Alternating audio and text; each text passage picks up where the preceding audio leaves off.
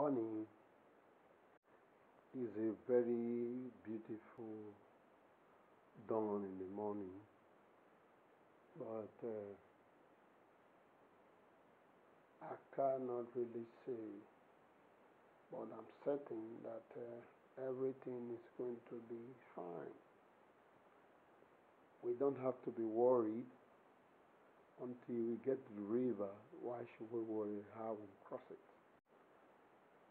Have observed that uh, my people, you know, when you get close to them, they say if you have a problem, complain about it. That when you close your mouth, if you close your mouth, your mouth be closed destiny.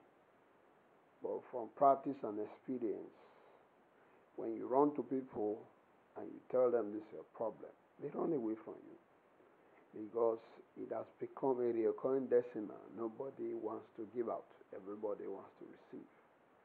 And if they're coming to you, tell them you can't guarantee they will get something if they've been getting something before.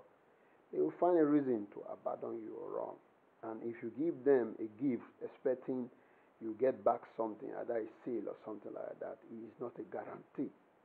So I think people, by their nature, like to be deceived. They don't want the truth. They hate it.